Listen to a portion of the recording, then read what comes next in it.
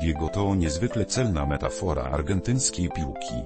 Geniusz połączony z absurdem, wielkość walcząca ze śmiesznością, realizm magiczny kontra brutalny naturalizm.